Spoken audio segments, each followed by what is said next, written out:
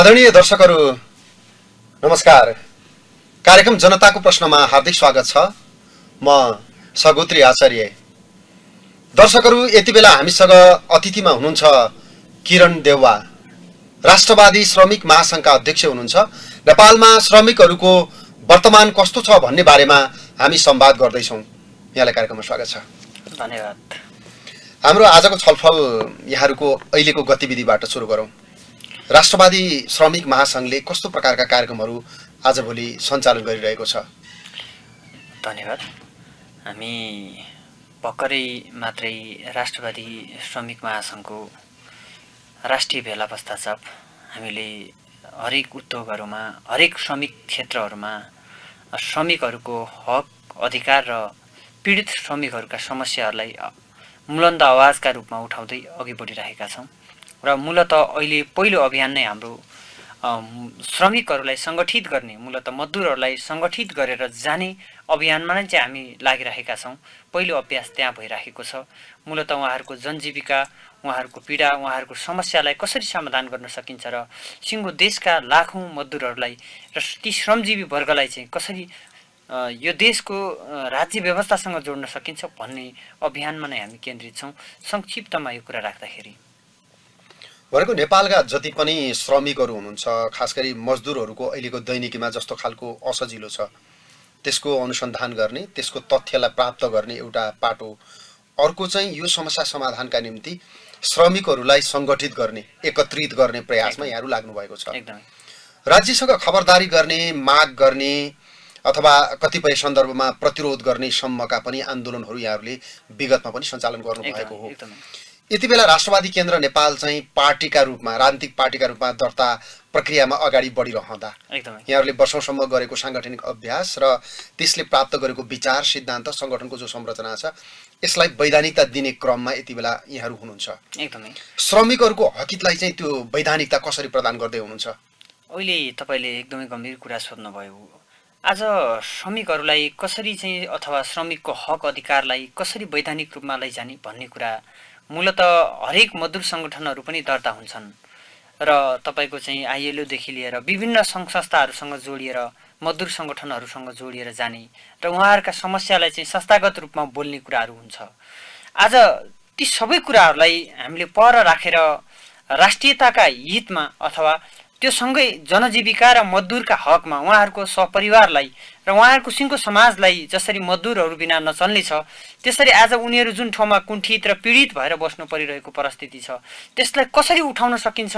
उहाँहरूलाई सङ्गठित रूपमा यो राष्ट्रिय हित र राष्ट्रिय चाहिँ भनौँ मजदुरहरूको हितको लागि चाहिँ कसरी काम गर्न सकिन्छ भन्ने सन्दर्भमा चाहिँ हामी सङ्गठित भइरहेको अवस्था छ। तसर्थ पहिलो विषय नै हामीसँग के हो भने सङ्गठन निर्माणको विषय छ यति बेला। सिङ्गो देशैभरिबाट हामीले सङ्गठनमा जोड्न सक्यौँ भने र सङ्गठनको आँधीबेरीबाट एउटा सङ्गठनको ठुलो मोमेन्टबाट एउटा यो देशमा चाहिँ सिङ्गो मजदुरहरूको समस्यालाई समाधान गर्ने गरी एउटा मोमेन्ट ल्याएर मात्रै एउटा चाहिँ आन्दोलन एउटा अभियान चलाउन सके मात्रै उहाँहरूका समस्याहरूलाई हामीले संस्थागत रूपमा उठाउन सक्छौँ। तसर्थ पहिलो विषय नै हामीले सङ्गठन भनेका छौँ टिम भनेका छौँ। किन भन्दा आज साना साना पसलहरू जस्तो भएर अथवा सानो सानो टिममा रहेर चाहिँ जो अहिले अभियान चलिरहेको छ त्यसलाई पहिलो कुरा एकताबद्ध बनाउने हो। एकताबद्ध नभइकन कुनै पनि चाहिँ मजदुरहरूको चाहिँ आज समस्या समाधान हुने पक्षमा छैन। यो कुरालाई। हो, यो तितर बितर छ। विभिन्न साना साना राजनीतिक दलहरू छन्। ठुला राजनीतिक दलहरू पनि छन् राष्ट्रिय दलहरू पनि छन् तर साना साना दलहरू संयुक्त दलहरू छन्। यो मजदुरहरू चाहिँ साना साना यहाँनिर थोरै कुरा थोरै कुरा जोडी।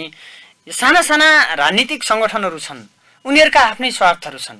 स्वार्थहरू छन् जसले मजदुरहरूलाई सेन्ट्रलाइज हुन दिइरहेको देखिन्न। सबैले आफ्नो मजदुर सङ्गठन बनाएका छन्। भनेपछि त यस्तो महासङ्घ त सयवटा पार्टीको आफ्नो महासङ्घ हुँदाखेरि त सयवटा महासङ्घ भयो नि त। भने अब सयवटा महासङ्घले फरक फरक आवाज फरक फरक ढङ्गबाट उठाएर मजदुरको हक अधिकार सुनिश्चित हुन्छ कि हुँदैन भन्दा? मलाई लाग्छ जहाँसम्म हुँदैन। तसर्थ सबै मजदुरहरूको पीडालाई सबै मजदुरहरूको समस्यालाई संस्थागत रूपमा बोल्नको निमित्त सबै मजदुरहरूका इकाइहरू र सबै मजदुरका महासङ्घहरू एउटै मोर्चामा रूपान्तरित हुने बेला नआएसम्म। यो देशको चाहिँ मूलत मजदुर समस्या मात्र होइन राष्ट्रिय समस्या पनि हल नहुने स्थिति बनेको छ। तसर्थ त्यहाँ कसरी जान सकिन्छ भन्ने पहिलो अभ्यास छ हाम्रो राष्ट्रियताको हितले हेर्दा जनताको स्वाधीनताको हितले हेर्दा र सिङ्गो आम मजदुरहरूको चाहिँ हक र अधिकारलाई हेर्दाखेरि आज तमाम समस्याहरू छन्। तपाईँले देख्नुभयो होला कि आज तपाईँको चाहिँ सामान्य काम गर्नेहरूले चाहिँ बोलिदिने कोही पनि छैन। गीतहरू गाइन्छन् मजदुरका विषयमा तर उहाँहरूको समस्यालाई बोलिदिने मान्छे कोही छैन। हिजो मात्रै म काठमाडौँका विभिन्न क्षेत्रहरू महानगरभित्र हेर्दा फुटपाथका मान्छे सामान्य काम गर्ने मान्छेहरू एउटा हात नभएको मान्छेलाई नगर प्रहरीले लखेर्दैछ। के त्यो मानव अधिकारभन्दा त्यो मानव अधिकारलाई कसरी हनन कसरी कुण्ठित गरिएको छ? मलाई थाहा छ कि यो देशका सबै मिडियाहरूले पनि देखेको छ। सायद उहाँहरूले पनि हेरिराख्नु भएको छ होला तर संस्थागत रूपमा न मिडियाले त्यो आवाज बोलेको छ न ज त्यो एकदम राज्य व्यवस्थासँग त्यो आवाज पुगेको छ। तसर्थ आज हाम्रो पहिलो अभियान भनेको यी सबै छरिएका मजदुरहरूलाई सङ्गठित रूपमा एकै ठाउँमा ल्याउने र आन्दोलनको एउटा नयाँ मोर्चा निर्माण गर्ने त्यो मजदुर क्षेत्रमा एउटा नयाँ आयाम भर्ने त्यो किसिमको अभियानमा हामी लागेका छौँ। तसर्थ त्यो अभियानलाई कसरी जोड्न सकिन्छ भन्ने विषयमा नै हामी केन्द्रित भएर अहिले अभियान चलाइराखेका छौँ। भनेको तित्रभित्र भएका मजदुरहरूलाई सङ्गठित गर्ने यहाँहरूको मुख्य लक्ष्य देखियो। पार्टी दर्ताको प्रक्रियासँगै पार्टी। यहाँले उठाउनु भएको जस्तो मिडियाले अथवा कुनै पनि क्षेत्रले सङ्गठित रूपमा चाहिँ यसको आवाज उठाएन भन्ने कुरा जो उठाउनु भयो। आज मजदुरहरूका समस्या छन् भन्ने कुरा सबै नेपालीका कानमा पुगिसकेको छ। एकदमै। राज्यले तिनीहरूको व्यवस्थापन गर्न सकेन भन्ने कुरा पनि सबै मान्छेको कानमा पुगिसकेको छ. सबैको आँखामा त्यो कुरा छाएकै छ। सबैलाई थाहा छ समस्या छ भन्ने कुरा। तर राज्य जो अभिभावक बन्नुपर्ने हो ऊ बनिदिएन। मुख्य समस्या त त्यो हो नि। अब यहाँ मैले तपाईँलाई यो पृष्ठभूमिमा सोध्न सोध्न खोजेको कुरा चाहिँ के हो भने राज्य अभिभावक बनेन र मजदुरहरू चाहिँ लाखौँको सङ्ख्यामा हुँदा पनि माग्नुपर्ने अवस्थामा भए। एकदमै। जबकि मजदुरले काम गरेन भने राज्य चल्दैन। एकदमै। तर त्यही काम गर्ने मजदुरलाई राज्यले संरक्षण नगर्दा पनि अनि यो देश चाहिँ यो नेतृत्वको मात्रै हो कसैले होइन, माग्नु यहाँनिर पर्ने एउटा- कसैले दिनुपर्ने यो कसलाई माग्दैछौँ हामी? हाम्रो होइन यो देश। मजदुरको देश होइन यो। यहाँनिर एउटा कुरा जोड्न जरुरी के छ भन्दा कि माग्ने कसलाई हो? माग्ने त राज्य व्यवस्थालाई हो नि त। अथवा राज्य सञ्चालक र सरकारलाई हो नि सत्तालाई माग्ने हो नि त। सत्तालाई माग्ने के हो त भन्दाखेरि जो पीडित छ त्यो मान्छेले आफ्ना समस्याहरू समाधानको विकल्प खोज्ने हो। आज त्यो भइराखेको छ कि छैन भन्दा? देश चाहिँ सत्ताको मात्रै भयो। सत्ता पहिलो कुरा कहिले पनि देश कसको हातमा हुन्छ भन्दा जसले राज्य सञ्चालन गरिरहेको छ जो शासक छ शासक वर्गले चाहिँ सत्ता चलाउने हो र देश चलाउने हो। यसको मतलब यो होइन कि त्यो मजदुरको देश होइन यो किसानको देश होइन यो अन्य मान्छेको देश होइन भन्ने होइन। देश समग्रमा त सबैको राष्ट्रियता सबैको स्वाधीनता सबैको तर यहाँनिर विषय के हो भने ती मजदुरका अधिकारको लागि अथवा मजदुरका समस्याका लागि अथवा उनीहरूले के गरेका छन् भन्ने कुरा हो। अहिलेको राज्य व्यवस्थाले मजदुरको लागि के गर्यो भन्ने विषय ठुलो विषय हो। तपाईँ हामीले देखिरहेका छौँ। आज तपाईँले हामीले काम गर्ने कुनै पनि क्षेत्रमा मजदुरहरूले कति ठुलो समस्या छ। आज पन्ध्र हजार तलबले पुग्छ। पुग्छ। सम्भव छ। तपाईँले एउटा मिडियाको एउटा कर्मचारीलाई पन्ध्र हजार तलब दिएर उसको घर चल्छ। वीर हस्पिटलमा काम गर्ने एउटा मजदुरलाई आज पन्ध्र हजार तलब दिएर चल्छ। एउटा किराना पसलमा काम गर्नेलाई पन्ध्र हजार तलबले उसको घर परिवार चल्छ। फी तिर्नलाई पुग्दैन आज। कोठा भाडा तिर्नलाई पुग्दैन आज। यो आवाज कसले सुनाउने र कसले सुन्ने? भन्दा पीडित मान्छे अथवा पीडित मजदुरहरूले अथवा पीडित समूहले अथवा त्यो समस्या भोगिरहेका व्यक्तिहरूले आवाज उठाउँछ। त्यो आवाज हामीले उठाइरहेका छौँ। तर कुरा कहाँ हो त भने त्यो आवाज सुन्ने ठाउँमा पुग्यो कि पुगेन त्यहाँ हाम्रो पहुँच पुग्यो कि पुगेन भन्दा त्यो पहुँच नपुगेको हुनसक्छ। त्यो पहुँच निर्माणको क्रम भनेको सङ्गठन निर्माण हो। त्यही मोर्चामा त्यही अभियानमा हामी लागेको कुरा मैले अगाडि पनि तपाईँलाई जोडेको छु। यस हुनाले समस्या समाधानका लागि बोल्नुपर्ने अहिलेको परिस्थिति बनेको छ। सुन्ने कोही पनि भएन। त कसले सुन्ने त? हिजो यही नजिकबाट हेरौँ हामीले काठमाडौँको समस्या समाधान गर्छौँ भन्नेहरू नै विचलनको बाटोमा गएनन्। आज उहाँहरूलाई लखेटिँदै छैन? त को बोल्दैछ त्यसमा? भन्दा हामी बोल्ने माथि गाली कमेन्ट सारा कुरा आउँछ। ए मजदुरको विषयमा बोल्ने? फटा कुन पार्टीको दलाल होस्? भनेर चाहिँ हामीले खेपाइ खानुपर्ने। कोबाट भन्दा जो मान्छेले मजदुरलाई देख्न सक्दैन जो मान्छेले मजदुरीको चाहिँ पीडा बुझेको छैन जो मान्छेले भरिया भारी बोक्ने मा मानव ती नाम्लोमा चाहिँ भारी बोक्नेहरूको पीडालाई महसुस गरेको छैन ती मान्छेलाई आज डोको खोसिँदैछ। त्यो आवाजहरू बोल्ने मान्छे कोही नहुँदा आज अत्यन्त मारमा परेको छ। आम श्रमजीवी वर्ग। यस हुनाले त्यो आवाजलाई हामीले उठाएका छौँ। त्यो त्यहाँ पुग्छ कि पुग्दैन भन्दा तपाईँहरू जस्तो देशभक्त राष्ट्रवादी कम्तीमा पनि आम मजदुरहरूको पीडा बोल्ने मिडियाहरूले यो आवाज लग्नुपर्छ भन्ने हामीलाई पनि लाग्छ। हाम्रो ठाउँबाट हामी पनि बोल्छौँ। तपाईँलाई एउटा उदाहरण दिन्छु। म एउटा चाहिँ एउटा चाहिँ कामको लागि गएको थिएँ। हिजो ई पासपोर्टको फर्म अनलाइन फर्म भर्नको लागि। त्यो ई पासपोर्टको अनलाइन फर्मको रा राष्ट्रले तोकेको मूल्य कति हो त? एक्ज्याक्टली कतिजनालाई थाहा छ त त्यो? भन्दा थोरैले होला दुई सय पचास रुपियाँ न हो। दुई सय पचासभन्दा बढी त लाग्दैन एउटा अनलाइन फर्म भरेको। तर आज पासपोर्ट बनाउन आउनेहरू तपाईँको तिन हजार पैँतिस सय तिर्दैछन्। जानुहोस् तपाईँको मिडियाले सर्च गर्नुहोस्। विश्वास छैन भने मसँग आउनुहोस् म दिन्छु प्रमाण। हामी खुलेर भनिरहेका छौँ। हो। व्यथिति छ। म त्यहाँ म म राष्ट्रवादी श्रमिक महासङ्घको अध्यक्ष पनि छु। मैले भने तपाईँ दुई हजार तिन हजार पैँतिस सय के को लिने? हुँदैन भन्दाखेरि मलाई भन्छ त्यसो भए यहाँ हाम्रो प्याक छ हामी अनलाइन फर्म भर्न सक्दैनौँ जानुहोस् भन्छ कि। राज्यले तिन बजे मात्र खुलाउँछ तिन बजेर दस पन्ध्र बिस मिनटसम्म त्यो अनलाइन फर्म सिद्धिन्छ दिनमा पन्ध्र सयवटा मात्र फाल्छ। अनि घन्टौँ दिनभरि तपाईँको चाहिँ राजधानी विभागको अगाडि लाइन लागेका मान्छेहरू कुरिएर बसिरहेका हुन्छन्। भने त्यहाँको पीडा बोल्ने को त? ती आम मजदुरहरूको पीडा जो श्रम गर्न चाहन्छन् ती मान्छेहरूको पीडा बोलिदिने हामी मान्छेहरू चाहिँ अथवा हामी नेतृत्वहरू चाहिँ हामी के छौँ त भन्दा बेकुब देखिरहेका छौँ अहिलेको समाजमा।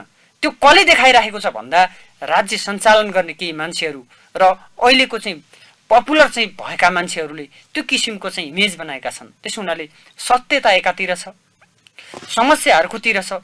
त्यो समस्याको समाधान गर्ने सोच छैन। त्यसो हुनाले त्यो थुप्रै समस्याहरू छन्। ती समस्याका समाधानका निमित्त हामी निरन्तर सङ्घर्ष गरिरहेका छौँ निरन्तर आवाज उठाइरहेका छौँ।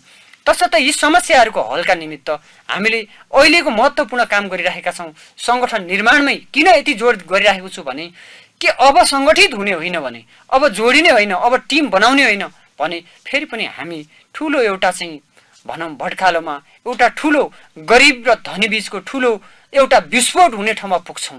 हामी देखिरहेका छौँ काठमाडौँको अहिलेको हालत हेर्दा।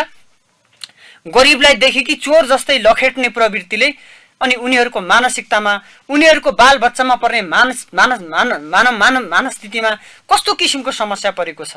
एउटा मानवीयताका हिसाबले म चाहिँ सम्हाल्न सक्ने ठाउँमा अथवा मैले त्यो दृश्य हेर्न सक्ने ठाउँमा म छैन तर अरूहरू छ कि छैन यदि यस्तै रह्यो भने समाज विस्फोट हुने ठाउँमा जान्छ कि जाँदैन भन्दा निश्चित रूपमा विस्फोट हुने ठाउँमा जान्छ। दरारको कुरा तपाईँले उठाउनु भयो नि यो कुरा एकदमै। पेचिलो विषय हो। तपाईँले उठाएको कुरा जायज छ तर हाम्रो अर्थतन्त्रको जुन प्रकारको पोलिसी छ जस्तो खालको मोडेल छ होइन। विभेदको कुरा यहाँले उठाउनु भयो जस्तो एउटा मजदुरले सञ्चार गृहमा पन्ध्र हजार तलब लिएर उसको जीविकोपार्जन त हुनेवाला छैन। भाडे तिर्न पुग्दैन। त्यो सरकारी अफिसमा पनि तपाईँले मुख्य सचिवको र कार्यालय सहयोगको तलबको फरक हेर्नुभयो भने त्यो पचास हजारभन्दा बढी छ। राज्यले त्यो प्रकारको आर्थिक मोडालिटी प्रयोग गरेको छ। त्यो असमानतालाई हामीले कानुन भनेका छौँ। त्यो असमानतालाई हामीले सरकार भनेका छौँ। त्यसलाई हामीले निष्ठा भनेर मानेका छौँ होइन?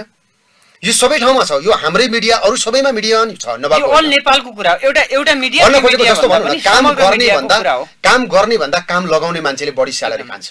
हामी कहाँ? एकदम। यो सबैतिर छ यो समस्या। एकदम। प्रतिशतमा घटी बढी होला। हामी कहाँ पनि छ नभएको होइन। काम लगाउने मान्छेले बढी खान्छ काम गर्ने मान्छेले राज्य। व्यवस्थाको दोष हो नि त। भनेपछि यो मोडालिटी हामीले प्रयोग गरिरहँदा र तपाईँले अघि उठाएको विषय ह्युम्यानिटीको कुरा उठाउँदा मानवताको कुरा उठाउँदाखेरि चाहिँ नसुन्ने। दुनियाँ बहिरो हुने सुन्नुपर्ने राज्य अभिभावक भएर नसुन्ने यो समस्याको समाधानका निम्ति तपाईँले सङ्गठित हुनु पर्यो भनेर जुन समस्याको समाधानको चुरो भेटाउनु भयो तर त्यसका लागि त अरू दशकौँ मान्छेहरू लागे नि. पार्टीहरू लागे तपाईँ जस्तै नेतृत्व? लागे तर अह काहीँ पनि समाधान यहाँनिर। कुरा अलिक गम्भीर छ है यहाँनिर हामीले अथवा हाम्रो समाजले अथवा जसले हामीले नेतृत्व गर्छौँ उहाँले बुझ्नुपर्ने कुरा कहाँ छ भन्दा राजनीतिक दल अथवा मजदुर सङ्गठनहरू किन आज असफल भए भन्ने विषय छ कि?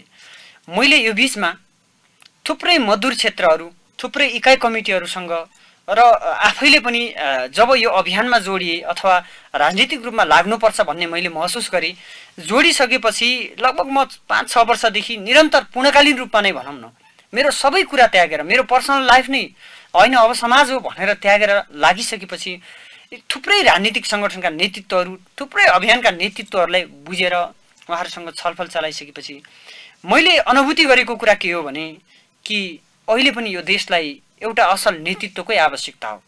नेतृत्वको आवश्यकता हो। त्यो व्यवस्थाभन्दा पहिला नेतृत्वको आवश्यकता मैले अनुभूति गरिरहेको छु यति बेला? म कुन आधारमा भने कि नेपालका साना साना पार्टीहरू छन् ती पार्टीहरूको आडम्बर हेर्दा ती पार्टीहरूको विचित्रको लीला हेर्दा यस्तो लाग्छ यिनीहरूले पनि भविष्यमा राम्रो गर्दैनन् गर्नै सक्दैनन्। धेरै कुरा ठाउँबाट हेर्दा धेरै आधारहरूलाई हेर्दा थुप्रै पार्टीहरू छन् कोही यत्रा कोही यत्रा सानसाना पार्टीहरू छन् जो कोही विचारसँग सम्बन्ध छैन कोही जनजीविकासँग सम्बन्ध छैन केवल एउटा आडम्बरमा बाँचिरहेका छन्। मानौँ उनीहरू बाहेक उनीहरूको अर्को संसार छैन भने उनीहरू न मिल्न चाहन्छन् न मिलाउन सक्छन् भने यो परिस्थितिमा आमूल परिवर्तन भन्ने कुरा फेरि असम्भव छ। समाज त्यहाँ तर तर तर त्यो केले पुर्यायो हो? बस यहीँ जोड्न खोजिरहेको छु। जब समाज त्यहाँ पुगिसकेपछि त्यो त एउटा राज्य व्यवस्थाले जसले नेतृत्व गरी समाजलाई एकै एक- एकै ठाउँमा ल्याउन नसक्नु समाजको वर्ग विभेदलाई बुझ्न नसक्नु समाजका आधारभूत आवश्यकताहरूलाई बुझ्न नसक्नु र राज्यले त्यो किसिमको व्यवस्था अथवा त्यो किसिमको चाहिँ भनौँ समाजको निर्माण नगर्न सक्नु समाजलाई अनुशासित बनाउन नसक्नु त राज्य व्यवस्थाको पहिलो दोष हो नि त। आज त्यो भन्दै गर्दा फेरि राज्य व्यवस्थाकै मान्छेहरू जसले यो सत्ता चलाउँदैछन् सबैभन्दा अनुशासनहीन सबैभन्दा उदण्ड सबैभन्दा अराजक उहाँहरू नै छन्। प्रचण्डबाट हामीले के सिक्ने? नयाँ सङ्गठनहरूले नयाँ युवाहरूले के सिक्ने? सत्ता र स्वार्थको लागि जुन पार्टीमा गए पनि हुन्छ भन्ने सिक्ने? जुन विचारमा गए पनि हुन्छ भन्न सिक्ने? कि नयाँ रूपान्तरणको खोजी गर्ने भन्दा? हामीले आज सोचेको विषय के हो भन्दा? अब एउटा नयाँ रूपान्तरणको आवश्यकता हो र यो देशलाई असल नेतृत्वको आवश्यकता हो। एज को हुन सक्छ त्यो फरक विषय बन्ला। पोलिसीलाई भन्दा नेतृत्वलाई बढी जोड होइन। पोलिसी पहिलो विषय नै हो। पोलिसी बिना त केही पनि नहोला। तर त्यो पोलिसी बनाउने नेतृत्व पनि त पहिलो विषय बन्यो नि त आज। पोलिसी त नेतृत्वको खडेरी चाहिँ आजको मुख्य समस्या हो। नेतृत्व असल। तपाईँको टिप्पणीभित्र जस्तो प्रचण्डको सत्ता प्राप्तिका निम्ति जुनसुकै विचारमा गए पनि हुने भन्ने जो टिप्पणी छ प्रचण्डको नेतृत्व जस्तो माओवादी केन्द्र नाम गरेको पार्टी निरन्तर प्रचण्डको नेतृत्वमा दशकौँदेखि चलिरहेको छ। पार्टी त छोडेको छैन पार्टीले माओवाद त छोडेको छैन। त्यो विचलित भएको तपाईँले सायद गठबन्धनको मानेमा भन्नुभएको गठबन्धनको कुरा मात्र छैन। कसरी मिल्यो त त्यो? यहाँ सुन्नुहोस्। मानवीय एउटा चाहिँ इथिक्स भन्ने कुरा त छ नि त। मान्छेमा अलिकति पनि नैतिकता त छ नि त। भन्न खोजेको कि छैन? प्रतिरोधमै जानुपर्छ भन्ने कुरा। प्रतिरोधको कुरा पनि होइन। जस्तो पार्टी कुरा कहाँ छ भने? हेर्नुहोस् है एउटा एउटा कुरा कहाँ हो भने हो सत्ता गठबन्धनबाट बन्ला एउटै दलको बहुमत आएर बन्ला त्यो एउटा विषय हो। त्यो एउटा विषय। मैले तपाईँलाई अघि जोड्न खोजेको कुरा मात्र म यहाँ जोड्न खोजिरहेको छु बुझाउन खोजिरहेको। बुझाउन मैले अघि साना साना पार्टीको कुराबाट बुझाउन खोजेको के हो भने म त्यो चरित्रको कुरा गर्दैछु। एज अ प्रचण्डको या केपी ओलीको या शेरबहादुर देउबाको कुरा होइन। यहाँ त चरित्रको कुरा भयो। त चरित्र कस्तो निर्माण गर्यो नेतृत्वले भन्ने कुरा हो नि त। आज मैले मानौँ म एउटा अभियानमा छु राष्ट्रवादी श्रमिक महासङ्घमा छु। गठबन्धन गर्दै गर्ने स्वार्थपूर्ति गर्दै गर्ने अथवा अर्को टिमसँग मिल्दै गर्ने अलिकति ल्यान त खाँदै गर्छु भन्दै गयो भने अनि म राज्य व्यवस्था सही ढङ्गले निर्माण गर्न सक्छु। अथवा म यो देश सही ढङ्गले सञ्चालन गर्न सक्छु। पहिला यो प्रश्न हो नि त। तपाईँले गठबन्धनको या चाहिँ पार्टीको सङ्गठनको नेतृत्वको मात्रै कुरा होइन चरित्रको कुरा चरित्रको कुरा हो मान्छेले आफ्नो मूल्य मान्यताको राजनीति गर्यो कि गरेन। तपाईँको प्रश्न ठिक छ। मैले तपाईँलाई सोध्न खोजेको कुरा चाहिँ पार्टी कुन मोडालिटीमा जाने भन्ने कुरा मुख्य हो। पार्टी सधैँभरि प्रतिरोधमा बस्ने या सत्ता बनेर समस्याको समाधान गर्ने भन्ने कुरा मुख्य हो। जस्तो तपाईँ आज प्रतिरोधको संस्कृतिमा हुर्किँदै हुनुहुन्छ। श्रमिक महासङ्घको अध्यक्ष भनेको प्रतिरोधको निम्ति नेतृत्व हो।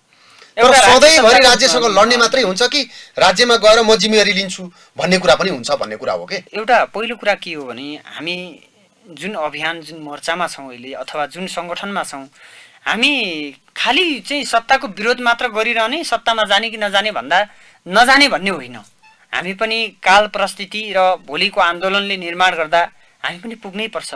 त्यहाँ नपुगिकन फेरि यो सबै कुरा हामी सडकबाटै गर्छौँ भन्दा फेरि त्यो फेरि एउटा चाहिँ आडम्बर हुनसक्छ। त्यसले फेरि सही ठाउँमा नपुर्याउन सक्ला। त्यो फेरि झुटो सपना हुनसक्छ झुट बोले जस्तो हुनसक्छ। हामी पोलिटिक्स नै सत्ता भनेर जाने हो हरेक राजनीति गर्ने मान्छेले।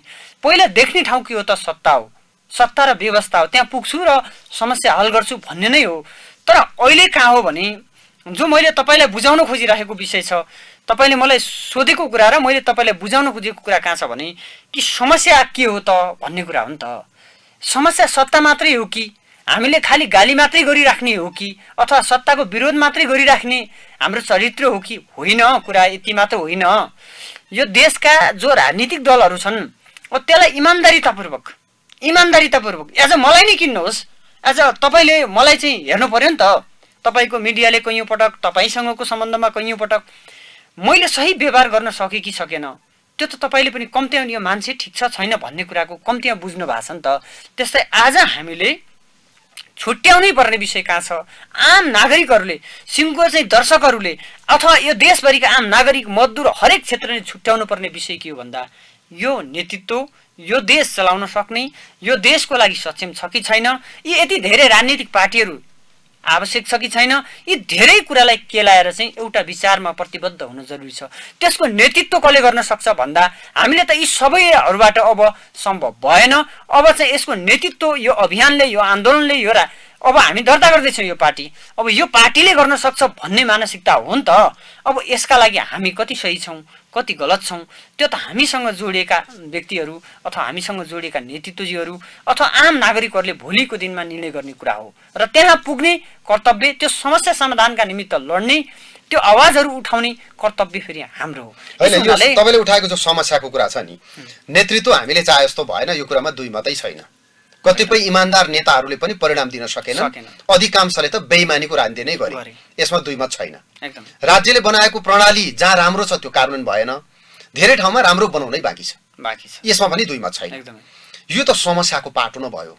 तपाईँहरू जन्मिनु भनेको पार्टीका रूपमा जन्मिनु सङ्गठनका रूपमा जन्मिनु सबै मजदुरहरूलाई सङ्गठित गर्नु भनेको त समाधानका निम्ति हो नि। समस्याको बारेमा हामीले छलफल गर्नै परेन। समस्या अलरेडी छ। सबैलाई थाहा छ। समस्या नबुझेको कोही पनि छैन। मजदुरको समस्या छ सबैलाई थाहा छ।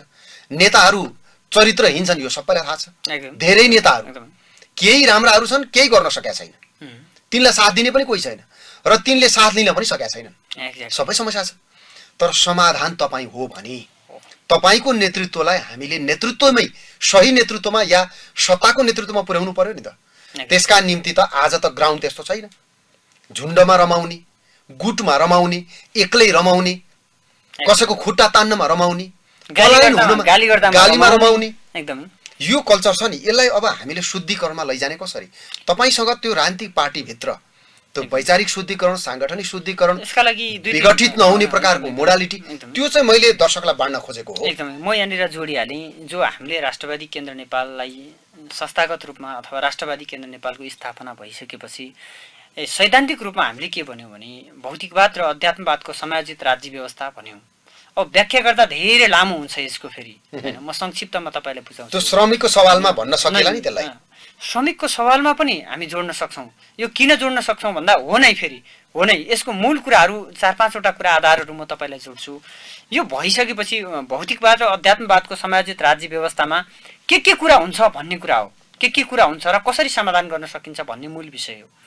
जे तपाईँले सोध्नुभयो त श्रमिकहरूको आम नागरिकहरूको सिङ्गो देशको समस्यालाई हल कसरी गर्न सकिन्छ भन्ने कुरा हो। श्रम पहिलो कुरा हो सिप। श्रमसँग हामी कसरी जोडिन सक्छौँ? अध्यात्मवादले हामीलाई अनुशासित बनाउने कुराहरू हाम्रो संस्कृतिको रक्षा गर्ने कुराहरू हामीलाई कम्ती पनि यो देशको माटोसँग जोड्ने कुरा यो देशको संस्कृतिसँग जोड्ने कुरा गर्छ भने त्यहाँ हामीले भौतिकवाद भनेर जोडेका छौँ। द्वन्दात्मक ढङ्गबाट हेर्दाखेरि त्यहाँ भौतिकवाद किन जोड्यो भन्दा यहाँ श्रमका कुराहरू छन्। किन भन्दा हामी केवल धर्म धर्मको नाममा हामी ओम ओम गर्दै मात्र पनि त बाँच्न सक्दैनौँ काम गर्नुपर्छ नि त। यसो हुनाले हामीले के भन्यो भने पहिलो कुरा देशलाई आत्मनिर्भर बनाउनु जरुरी छ। आत्मनिर्भर हुने बाटाहरू के के हुन् भन्ने कुरा छ। आत्मनिर्भर हुनका लागि यो देशको चाहिँ थुप्रै आय स्रोत भएको ठाउँ छ। हामी कृषि छ पर्यटन छ जलस्रोत छ होइन? खनिज छ। जडीबुट्टी छ यस्ता थुप्रै कुराहरू छन्। यसलाई सही मानेमा परिचालन गरेर देशको पहिलो कुरा अर्थतन्त्र बलियो हुन जरुरी छ। देश हरेक कुराले आत्मनिर्भर हुन जरुरी छ। यो बनाउने ठाउँमा राज्य व्यवस्था हुनु पर्यो। अब त्यहाँ जानको लागि फेरि त्यो व्यवस्था आउनको लागि त यही प्रणालीले त सम्भव छैन। पहिला यो प्रणालीलाई चाहिँ कम्ती पनि चेन्ज गर्नुपर्छ। जसका निमित्त चाहिँ यो देशमा कार्यकारी सरकार प्रमुख हुनुपर्छ भनेर जो किसिमले हामीले अब त्यो अभियान चलाएका छौँ। जनताबाट निर्वाचित हुनु पर्यो। राष्ट्रपति। प्रधानमन्त्री। यो यस्तो छ। अब यहाँनिर हामीले अहिले कार्यकारी मूलत हाम्रो राष्ट्रपति नै हो। राष्ट्रपति नै हो स्पष्ट कुरा राख्दाखेरि निर्वाचित राष्ट्रपति निर्वाचित हुनुपर्यो। हुनुपर्छ। यहाँनिर डिबेटको विषय अथवा बौद्धिक वर्गहरूले हामीलाई हानिराखेको अथवा उहाँहरूले के भन्नुहुन्छ भन्दा राष्ट्रपति प्रणालीमा देश कस्तो ठाउँमा उभिन्छ भन्ने विषयहरू उहाँको तर्क छ। यसमा एउटा छुट्टै बहस होला। यस हुनाले हामीले उठाएको एजेन्डा त्यहाँ छ।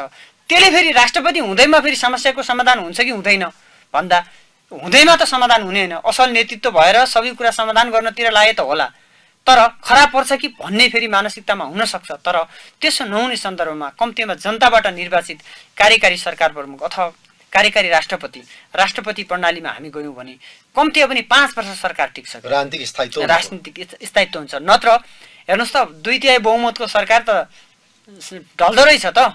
आज पनि शेरबहादुर देवासँग प्रचण्डले कुरा गर्दाखेरि केपी ओलीलाई के कुरा? अब भनेर चाहिँ शङ्का लाग्ने ठाउँमा मैले आज हिजोको तपाईँको चाहिँ पत्रिका हेरेको थिएँ। त्यहाँ पनि देखाएको थिएँ भने डर रहेछ नि त। के हो धोका दिन लाग्यो कि? भन्ने कुरा। एक महिना नबित्दै यत्रो धोका षड्यन्त्र जालझेल भएर चाहिँ सत्ता नटिक्ने यो परम्परा छ। यसलाई तोड्नुपर्छ। यसलाई तोडेर फेरि जनताबाट प्रत्यक्ष निर्वाचित कार्यकारी राष्ट्रपति प्रणाली अथवा सरकार प्रमुख भनेका छौँ हामीले। व्यक्ति यसरी भन्दाखेरि सैद्धान्तिक रूपमा त्यहाँ नपुगेसम्म र जनताले पुरै पुरा पाँच वर्षसम्म टिक्ने सरकार नपाएसम्म हामीले सोचेको व्यवस्था नआएसम्म फेरि यो समस्याहरूको समाधान नहुने देखिन्छ। तपाईँले यो यो देशको चाहिँ सबै कुरा हेर्नुहोस् है। वडासम्मको सबै संरचना बदलिन जरुरी छ। सङ्घीयता हेर्नुहोस् कति लुटिराखेको छ। यता खारेजै भनेका छौँ हामीले। एजेन्डामा त हामीले सङ्घीयता खारेज वैदिक सनातन धर्म सापेक्ष राष्ट्र वैदिक सनातन धर्म सापेक्ष राष्ट्र तपाईँको शिक्षा स्वास्थ्य बेरोजगार वर्गको मुक्ति भनेका छौँ। अहिले यो रोजगारीका जे समस्याहरू छन् हामीले रोजगार नपाउने ती समस्याहरू समाधानका थुप्रै कुराहरू जोडेका छौँ। यसो हुनाले यी सबै कुरालाई जोडेर हेर्दाखेरि आम जनताका समस्याहरूलाई चाहिँ उठाइरहेको विषय छ।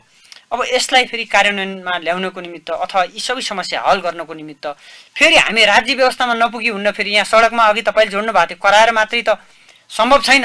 यस हुनाले त्यहाँ जान कसरी सकिन्छ भन्दाखेरि शान्तिपूर्ण आन्दोलनको बाटोबाट शान्तिपूर्ण अभियानबाट भनेर हामीले भनेका छौँ। शान्तिपूर्ण आन्दोलनबाट फेरि सत्तामा कसरी जाने भन्न सकिन सक्छ? धेरै क्वेसन क्वेसनहरू आउन सक्लान्। तर हामीले बाटो त्यो बनाएका छौँ। तपाईँहरूले शान्तिपूर्ण तरिकाले अगाडि बढ्ने र वैधानिक तरिकाले अगाडि बढ्ने त्यसमा दुईटा राजनीतिक नारा तपाईँले के उठाउनु भने एउटा संहिताको खारेजीको कुरा उठाउनु भयो एउटा कार्यकारी राष्ट्रपतिको त्यसमा यो संघीयता खारेजी चाहिँ किन भन्नुभएको? सङ्घीयता खारिजी मात्रै छैन है त्यसमा हामीले पाँचवटा उठाएका छौँ कुराहरू चाहिँ। वैदिक सापेक्ष। राष्ट्र सङ्घीयता खारिज प्रत्यक्ष जननिर्वाचित कार्यकारी सरकारमुख अहिले राष्ट्रपतिको कुरा आयो। त्यसमा अर्को यो राष्ट्रिय पुँजी तथा लगानीको सुरक्षा होइन? यस्ता थुप्रै विषयहरू भनौँ न यी लगायत विषयहरूलाई हामीले उठाइराखेका छौँ। मूलत एजेन्डाका हिसाबले सैद्धान्तिक रूपमा अघि पनि मैले तपाईँलाई भने वैचारिक रूपमा अध्यात्मवाद र भौतिकवादको समाजित राज्य व्यवस्था यताबाट रोजगारीदेखि लिएर थुप्रै विषयहरू जोड्ने यता वैदिक सनातनलाई जोड्ने यी कुराहरू जोडेर एउटा नयाँ चाहिँ प्रणालीको विकास गर्ने भनेर चाहिँ साङ्गठनिक रूपमा लागिरहेका छौँ। यो अब यो कतिसम्म हामीले पुरा गर्न सक्छौँ यो त अभियानमै छौँ अहिले पनि हामी आन्दोलनमा। सकेसम्म हामी छिटै जाने तयारी गर्दैछौँ। सायद यो पार्टी दर्ता भइसकेपछि। यसलाई फेरि फराकिलो ढङ्गबाट छलफल गरेर तपाईँले व्यक्त गरेको त्यो जुन संरचना छ नि वैचारिक संरचना त्यो भित्र उभिएर तपाईँले जुन संघीयताको खारेजी भन्नुभएको छ मैले दोहोऱ्याएर सोधेँ। त्यो संघीयता खारेजी चाहिँ किन गर्नु पर्यो? ए सङ्गीत खारेज चाहिँ किन गर्नु पर्यो भन्दा यो यति सानो देश छ। यति सानो नेपालको जनसङ्ख्या भनेको दुई करोड चौरानब्बे लाख भन्ने छ अहिलेको तथ्याङ्क हेर्दा। त्यसमा थप केही होला थपिने कुरा त सधैँ छ। थपिसके पनि एउटा बिहारको जनसङ्ख्या बराबर छैन क्या इन्डियाको एउटा बिहारको बराबर छैन। मुम्बईको जनसङ्ख्या बराबर होइन, होइन कुरा त्यति मात्र होइन। अघि अर्थतन्त्रको कुरा जोडेका थियौँ नि हामीले। भने अहिलेको अर्थतन्त्रले सातवटा प्रदेश सातवटा मुख्यमन्त्री सातवटा मन्त्रीमण्डल ठेक्न सक्छ कि सक्दैन भन्दा भन्ने कुरा हो। के हामीले सधैँ विदेशीको ऋण ल्याउने? हाम्रा दाजुभाइहरूले पठाइदिएको रेमिट्यान्सबाट त्यो के अरे चाहिँ सत्ता चलाउने हाम्रा चाहिँ मन्त्रीहरूको गाडी घोडामा सवार चाहिँ गर्ने अनि प्रत्येक वर्ष दस दस हजारले हाम्रो टाउकोमा हाम्रा बालबच्चाको टाउकोमा ऋण थप्दै जाने वैदेशिक ऋण थप्दै जाने। आज तपाईँले उठाएको विषयमा एउटा कुरा जायज के हो भने संघीयतामा जस्तो प्रकारको विकासको प्रभावकारी कारण विसङ्गतिहरू हुनुपर्छ। भयो। पक्नुहोस् न म सोध्दैछु। जस्तो प्रभावकारी कानुन हुनुपर्ने त्यो भएन। त्यो समस्यापूर्ण भयो। यसले पैसा ऋण काटेर प्रयोग गर्यो। यो राज्यका लागि भार भयो यो कुरा। सहमत। तर मलाई एउटा प्रश्नको जवाब दिनुहोस्। नेपालमा असारमा बजेट आउँदा चान्चुन सत्र सय अर्बको बजेट नेपालले अहिले विनियोजन गरेको छ। त्यो सत्र सय अर्बको बजेट तपाईँले भने जस्तो प्रदेश सरकार खारेज गर्ने हो भने प्रदेशको पैसा केन्द्रले प्रयोग गर्छ। के प्रदेश सरकार खारेज गरेर त्यो पैसा हामीले केन्द्रमा ल्याउने हो कि प्रदेश सरकार खारेज गरेर तल स्थानीय तहमा लाने? कोही न कोहीले त प्रयोग गर्नुपर्छ। एकदमै मैले कुरा बुझेँ। प्रयोग त गर्नुपर्छ यहाँनिर के भन्यो भने स्थानीयहरूको अग्राधिकारको भनेका छौँ हामीले। कहाँ भन्दा यो सङ्घीयता खारेज भइसकेपछि स्वत त्यो पैसा स्थानीय तहमा जाने तल चाहिँ ठिक भन्ने- हुने प्रदेश चाहिँ खराब हुने कसरी? यसो छ सर यो प्रदेश भनेको अलिक ब्रोकर छ दलालहरू बस्ने ठाउँ बन्यो भन्दाखेरि यो प्रदेशको काम के हो त? प्रदेशले गर्ने अहिलेको काम के हो? स्थानीय ओडाहरूले ओडाको बजेट आइरहेको छ। होइन त्यसले पुग्यो कि पुगेन भन्ने कुरा हो नि त। त्यसले त पुगेन नि त। अनि एबाट सरकारले बजेट प्रदेशलाई दिने प्रदेशले पनि अलिकति कमिसन खाने के अरे गाउँपालिका नगरपालिकालाई दिने नगरपालिकाबाट ओडामा जाने त्यो सिस्टम त बन्यो। तर त्यो बजेटले पनि त्यसको आफ्नै संरचना होला। तर त्यो पुग्यो कि पुगेन भन्दा त्यतिले मात्र कुरा होइन। विकासमा जाला सबैमा जान्छ। कुरा त्यहाँ मात्र छैन सर। सामरिक हिसाबले नेपाललाई अब तपाईँ तपाईँको प्रचण्डले त यो दुई देश बिचको एउटा चाहिँ डाइनामाइट हो भने यो के अरे दुई ठुलो देश बिचको डाइनामाइट हो भने कुनै चाहिँ एउटा चाहिँ नेताले भनौँ अथवा यो देशका पूर्व शासकहरूले चाहिँ दुई ढुङ्गा बिचको तरुल हो भने आफ्ना लजिकको कुराहरू छन् यहाँ आफ्ना तर्कहरूको कुरा छ तर सत्यताको कुरा के हो भन्ने कुरा मात्रै हो कि? मानौँ अहिले सात नम्बर प्रदेशको राजधानी भनेर धनगढीलाई तोकियो इन्डियाबाट जसको दूरी कति छ भन्ने कुरा हो क्या कति दूरी छ त त्यसको? नजिक हुन मिल्दैन। यो धेरै कारणले मिल्दैन। भनेको नजिकै राजधानी हुन मिल्दैन। कुनै पनि छिमेकी देशको नजिकै राजधानी हुँदा त्यसले कति फाइदा गर्छ कति घाटा गर्छ एउटा त्यो फेरि नजिकै हुने मैले त्यो तर्क राख्दै गर्दा फेरि त्यसो भए तपाईँ सङ्घीयता ठिक छ भन्नेतिर कुरा राख्नु होला होइन? सङ्घीयता यहाँको जनसङ्ख्याको हिसाबले यो देशको सामरिक अर्थको हिसाबले यो देशको भौगोलिक कुरा यो देशको राष्ट्रिय एकताको कुरा राष्ट्रिय स्वाभिमानको कुरा र यो धेरै कारणले पनि छैन ठिक छैन। जस्तै यहाँनिर जतिखेर यो सङ्घीयताको कुरा उठ्यो जतिखेर चाहिँ तपाईँको चाहिँ जातीयताका हिसाबले यो चाहिँ राज्य दिने कुरा उठ्यो तराईमा ठुलो आन्दोलन भयो टिकापुरमा एउटा आन्दोलन भयो काठमाडौँ उपत्यकामा थुप्रै आन्दोलनहरू भए न तामसिलिङ कुरादेखि लिएर मगरातदेखि लिएर थारूवटसम्मका आन्दोलनका कुराहरू उठे भने यसले एउटा विभाजन चाहिँ ल्याउँदैछ भन्ने कुरा हो क्या सांस्कृतिक रूपले एउटा विभाजन ल्याउँछ। ढिलो चाँडो ल्याउँछ। धेरै थुप्रै देशका इतिहासहरू होलान् यो जाने हो भने सरकार बनेर कार्यान्वयनमा गइरहेछ। जान्छ सर यो त यस्तो। डिबेट धेरै आइरहेको छ सर। तपाईँ हामीले कति बुझिरहेका छौँ भन्ने कुरा मात्रै हो। तपाईँलाई एउटा प्रश्न गरौँ जस्तो कुनै एउटा घरमा बसेर मान्छे गरिब भयो त्यो गरिब घर भएको हो कि मान्छे? यहाँनिर यस्तो छ सर। सङ्घीयता त घर हो। घर सङ्घीयता घर हो। होइन। घर न। धनी हुन्छ न गरिब हुन्छ न। फोहोर हुन्छ न सफा हुन्छ। तपाईँलाई मैले भन्ने कुरा होइन। तपाईँ योभन्दा घर प्रमुख हो यहाँ सुन्नुहोस्। कुन परिस्थिति भन्ने कुरा हुन्छ? परिस्थितिको कुरा होइन। हजुर पहिला। म एउटा कुरा बुझाउन खोजेँ हजुरले योभन्दा पहिला अर्कै टेलिभिजनमा एउटा कार्यक्रम सञ्चालन गर्नुहुन्थ्यो। या- नयाँ हो नि त। त्यसैको हो त्यसैको जे भए पनि हजुरले नयाँ ल्याउनु भयो नि। हो त्यहाँ के छ भन्दाखेरि जो घरको कुरा गर्नुभयो। अब मैले तपाईँलाई यहाँनिर अब तपाईँले त्यो किन छोड्नु भयो भन्यो भने के जवाब हुन्छ? छोडेकै छैन नि। पहिला पनि घर थियो अहिले पनि घर छ। पहिला पनि टिभी तर यहाँनिर कुरा के हो भने के फरक छ र? फरक के छ भन्ने कुरा छ क्या। तपाईँको सोचमा के गर्नुपर्छ नयाँ भन्ने त आयो नि। आयो नि।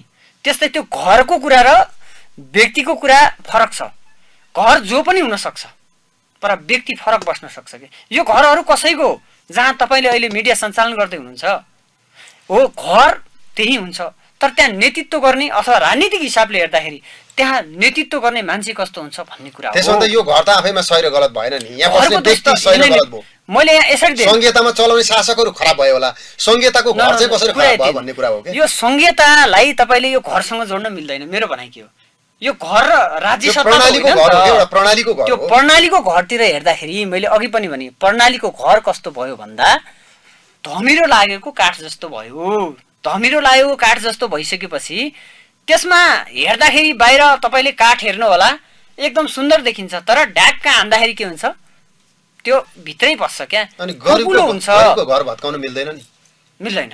धमिरा लागेको होला भत्काइदिनु त हुँदैन नि। सङ्घीयता भत्काउने भन्नुभएको छ मतलब- तपाईँले। यसको मतलब यो सङ्घीयता चाहिँ गरिब हुने अनि एउटा मजदुर ठेलागाडावालाको चाहिँ धनी हुने भने राज्य व्यवस्थाको विभेदको कुरा नहो दुइटै गरिब हो, तपाईँले हो यहाँनिर। धान्न सक्दैन नेपालको अर्थतन्त्रले धान्न सक्दैन भन्ने न हो। अनि म? म गरिब भयो भने गाउँै छोडेर हिँड्ने नि। के धनी हुन खोज्ने? यस्तो छ तपाईँ गरिब भयो, धनी हुन खोज्ने। तपाईँ एकजना व्यक्ति गरिब हुनु राष्ट्र गरिब हुनु एउटा प्रदेश गरिब हुनु धेरै फरक छ। धेरै फरक छ। त्यो प्रदेशभित्रका सबै नागरिक गरिब भए ल मानौँ त्यो घर रहिरहन्छ। त्यो घरभित्र बस्ने मानौँ तपाईँले घर त सुनको बनाउनु भयो तर त्यो सुनको घरभित्र बस्ने मान्छेहरू कङ्गाल भयो भने के हुन्छ? आज देशको हालत त त्यो हो नि त? यो संसारको सबैभन्दा महँगो काइनेट पाइने देश संसारको सबैभन्दा महँगो युरेनियम पाइने देश संसारका सबैभन्दा अग्ला शिखरहरू हिम शिखरहरू भएको देश विश्वमा सबैभन्दा ब्राजिल पछिको दोस्रो जलस्रोतको धनी देश संसारको महँगो काठ पाइने देश संसारका महँगा जडीबुट्टी पाइने देश अनि संसारको सबैभन्दा अग्लो ठाउँमा तिलिसो ताल भएको देश। अनि सुनै सुनको वरिपरिका जनता श्रम गर्न अरब जानुपर्छ भने अनि तपाईँले मलाई दिएको घरको उदाहरण मिल्छ? मिल्दैन। यहाँ सुनको घरमा भिख मागिँदैछ। हामीले भन्यौँ भिख माग्ने होइन। सुनको घरको कुरा। गर्यो। यो सुनको घरलाई आधा तले खाने आधा उले खाने आधा यसले खाने। भनेर जो छुट्याउने किसिमको संरचना बन्यो त्यो गलत छ। त्यो राष्ट्रिय स्वाधीनताको हितमा छैन जनजीविकाको हितमा छैन। फेरि तपाईँले यो कुरा सोध्दै गर्दा संसारमा सङ्घीयता भएका थुप्रै देशहरू सफल छन् भन्ने कुरा उठ्न सक्छ छन् असफलहरू पनि छन् तर कुरा कहाँ हो भने? त्यो देशको अर्थतन्त्र। त्यो देशको। हो एकदमै। त्यो त्यो देशको अर्थतन्त्र त्यो देशको आम नागरिकहरूको शैक्षिक स्तर चेतना स्तर त आर्थिक स्थिति। तपाईँले भनेको गरिबले। बनाउनु हुँदैन भन्नुभयो। कुरा गरिबले बनाउने होइन। कहिलेकाहीँ कहाँ हामीले बुझ्नुपर्छ भन्दा कहिलेकाहीँ विकासोन्मुख देशहरू सङ्घीयताका कारणले पनि कम्ती हो भने त्यहाँ बजेटले गर्दाखेरि पनि समृद्ध हुन सक्छन्। तपाईँलाई म एउटा उदाहरण तपाईँलाई उदाहरण दिउँ। जस्तो हाम्रा बुवाहरूले नभइकन अझ हजुरबाहरूले एउटै किताबमा म्याथ इङ्ग्लिस साइन्स सबै पढ्नुहुन्थ्यो होइन। एउटै किताबमा लेखेको हुन्थ्यो। डिपार्टमेन्ट एउटै हुन्थ्यो। एउटै हुन्थ्यो नि त्यति बेला। आज टियुमा चालिसभन्दा बढी डिपार्टमेन्टहरू छन्। इङ्ग्लिसको छुट्टै साइन्सको छुट्टै म्याथको छुट्टै स्पेसियलाइज गरियो नि त। विकासका निम्ति मोडालिटी बनाइयो। सङ्घीयता भनेको त्यस्तै विकासको परिकल्पना गरेको। भलै त्यसको प्रयोग सही हुन अझै बाँकी छ। त्यसमा थुप्रै प्रश्नहरू छन्। त्यो तपाईँको अभिव्यक्ति पुरै गलत भन्ने पनि होइन। तर त्यो खारेजै गर्नुपर्छ त्यो डिपार्टमेन्टै चाहिँदैन हामी गरिब छौँ एउटा डिपार्टमेन्ट बनाएर चलाउँ भन्ने कुरा चाहिँ यो अलि एउटा डिपार्टमेन्ट अलि- अगाडिको कुरा हो कि- भयो होइन। यो मैले अगाडि जानुपर्ने हो। मैले अहिले भनिरहेको कुरा यो परिकल्पनाको कुरा पनि होइन। यो रामराज्यको कुरा पनि होइन। र यो शिवसँगको चाहिँ त्यति बेलाको तर्कको कुरा पनि होइन। नेपालको आजको कुरा आजको कुरा। गर्दैछौँ आज यो देशमा जे भइरहेको छ जे घटनाहरू घटिरहेको छन् जुन किसिमको राजनैतिक दलहरूले चाहिँ व्यवहार देखाइरहेका छन् जो राजनैतिक दलको चरित्र बनेको छ आम नागरिकहरूको जनजीविका यो देशका चाहिँ युवाहरूको चाहिँ पलायन थुप्रै कुराहरूलाई हेरेर यो समस्याहरू यथावत छन्।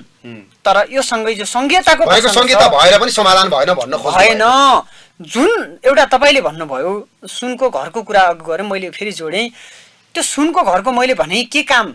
जुन बस्नको लागि योग्य छैन बस्नको लागि योग्य छैन। मलाई त्यो घर के आवश्यक जुन घरमा म पस्नै सक्दिनँ क्या। बस्ने काम लागेन। कामै लागेन के भनाइ के हो भने यदि त्यो सङ्घीयताको घर हामी बस्न योग्य छैन भने त्यसलाई भत्काइदिउँ नयाँ बनाऊ नयाँ कहाँ बनाऊ। जहाँ श्रमजीवी अट्छ जहाँ किसान अट्छ जहाँ मजदुर अट्छ जहाँ तपाईँ जस्तो मिडियाहरू यो देशमा खुलेर आफ्नो मिडियाको यो देशको राष्ट्रियताको दलालहरूको होइन आज धेरै मिडियाहरू दलालको कुरा छापेर बाँच्न बाध्य भएको छ। उहाँहरूको रहर नहुन सक्छ। तर यो देशको स्वाधीनताको कुरा गर्वका साथ छापेर गर्वका साथ बजाएर यो देशमा आफ्नो चाहिँ कर्म गर्न सक्ने ठाउँ त बनाउनु पर्यो नि त। त्यो केले बनाउने हो भन्दा राज्य व्यवस्थाले बनाउने हो। त्यही किसिमको संरचनाले बनाउने हो। आज सङ्घीयताले त्यो दिन सकेन। त्यो असफल भयो। आज मेरो चौहत्तर वर्षको आमाले। मेरो चौहत्तर वर्षको आमाले त सङ्घीयता बुझ्दैन। पटक पटक पटा पढाएर पटक पटक सङ्घीयताका नारा लगाएर घोकाएर पनि सत्तरी वर्षसम्म अभ्यास गरेको एउटा काङ्ग्रेस पार्टीले बुझाउन सकेन सङ्घीयता सही छ कि गलत छ। होइन? दुई हजार छ सालमा स्था स्थापना भएको कम्युनिस्ट पार्टीहरूका हजारौँ लाखौँ कार्यकर्ताहरूले बुझाउन सकेन। न उनीहरूले कहिले समाजवाद बुझाउन सके न कहिले तपाईँको चाहिँ यहाँ यो त समस्याहरूको हलको कुराहरू बुझाउन सके भने कहीँ न कहीँ असफलताले घेरेको छ। त्यो बिचमा आएको सङ्घीयता पनि यो देश र यो देशको यसलाई माटोलाई- करेक्सन गर्नु पर्यो भन्ने यसलाई यहाँ सुधार्नु कुरा। पर्छ। हामी अथवा यसलाई संवाद मैले अघि तपाईँलाई भने समयको किनारमा आइसकेका छौँ। हामी संवाद गर्दा गर्दै मैले यहाँलाई सोध्न छुट्याएको यहाँले भन्न चाहेको खास विषय केही छ भने एकदमै छोटोमा।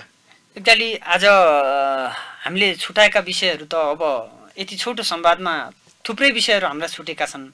हाम्रा विचारका कुराहरू छुटेका छन् दृष्टिकोणका कुराहरू छुटेका छन् हाम्रो सङ्गठनको संरचनाका कुराहरू छुटेका होलान्। त्यो सँगै आ अहिले चाहिँ मजदुरका थुप्रै समस्याहरूका विषयमा हामीले छलफलै गर्न सकेका छैनौँ। न्यूनतम पारिश्रमिकदेखि लिएर श्रमिकहरूले भोगिरहेको पीडादेखि लिएर उनीहरूले चाहिँ अहिलेसम्म झेलेका तमाम समस्याहरूका कुरादेखि लिएर त्यो समाधान कसरी गर्न सकिन्छ भन्ने विषयमा सामान्य हामीले छोएका छौँ।